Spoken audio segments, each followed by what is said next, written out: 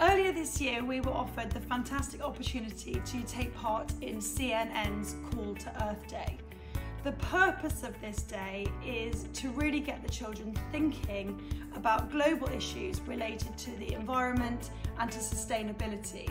And so they were set the fantastic challenge to create a piece of artwork that they felt really showcased our beautiful planet and why they feel it's worth saving. Wanted everyone to know how beautiful the world is.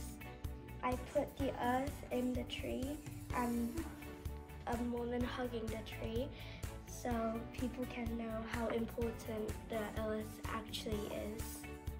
And then that's the bad side of the world. Then this is the good side of the world that don't litter in the sea.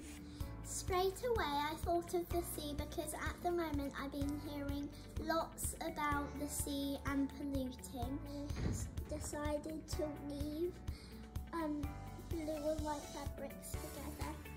I think we should start reusing more stuff like I did with the old clothes and the old fabrics.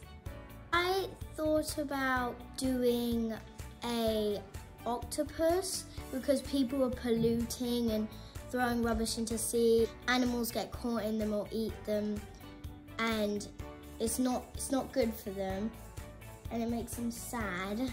The moral of it is to save the planet, not to don't throw your rubbish in the sea so they can be happy again. Started to draw some animals, so we did some turtles, some bees, some butterflies, some whales. Animals are, that are drawn are in danger. So we need to help help them.